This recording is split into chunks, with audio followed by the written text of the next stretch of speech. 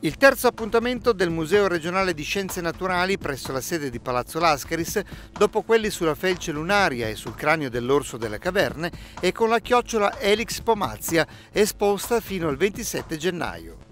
La lumaca, nota con svariati nomi comuni, tra cui chiocciola vignaiola ed escargot de Bourgogne, è utilizzata nella farmacopea popolare per la preparazione dello sciroppo di lumaca, raccomandato per alleviare la tosse e lenire le ulcere.